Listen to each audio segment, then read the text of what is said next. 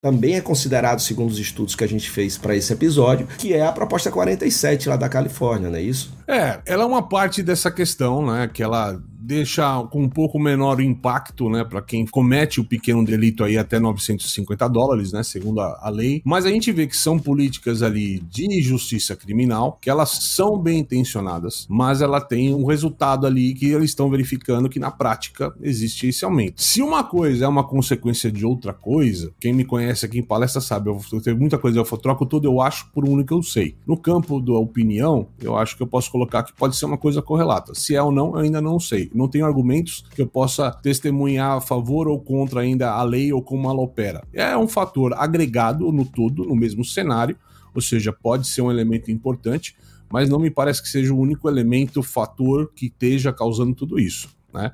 Eu vejo muito mais o impacto do cenário dessas drogas sintéticas e o poder de viciar elas, e o poder de. que é uma epidemia que a gente não vê lá fora, né? A gente tem aqui em São Paulo a Cracolândia, a gente está vendo a, a, epidemia de crack, de K9 pelo país inteiro.